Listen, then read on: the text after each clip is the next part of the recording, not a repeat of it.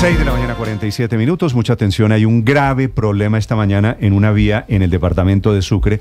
Se abrió un puente y están incomunicados siete municipios en el departamento de Sucre. A que no adivina qué zona. La Mojana sucreña. Es decir, perdóneme la expresión mm, fregada, decimos en la costa por no decir otra Sí. palabra, por todos lados. Sospecho cuál es su palabra. sí, padre, pero es que, tiene- razón. es una región Están que sufre mucho. incomunicados. Estos son los mismos municipios por las mismas causas.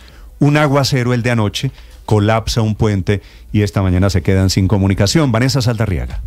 Néstor, efectivamente la mojana sucreña quedó incomunicada. Se trata del hundimiento de un puente ubicado en el municipio de San Benito Abad, del cual conecta siete poblaciones de esta subregión. Es una estructura que venía presentando problemas de socavación ante cada lluvia que se registraba en el sector y también ante las aguas eh, del río Cauca que están corriendo por las inundaciones que desde el pasado 6 de mayo se reactivaron en la zona por la reapertura del boquete de Caregato. A pesar de que había llamados a la alcaldía eh, municipal, a la gobernación y al Invías, la falta de intervenciones y mantenimiento derivó la aparición de lo que es un cráter. Y es que le escribo un poco qué es lo que hay. La vía terminó eh, hundiéndose en ambos carriles por un espacio de aproximadamente eh, un- unos 100 metros más o menos. Además hay varias fisuras y lo que hizo la comunidad desde las 11 de la noche fue atravesar palos y algunos sacos para evitar que utilicen la vía y solamente para habilitar una pequeña zona a que pasen las motocicletas de quienes viven en el sector. Entre tanto, ya hay una larga fila de camiones en la zona. Estamos hablando de que entre los municipios afectados se encuentra San Marcos, Majagual, Guaranda, San Benito Abad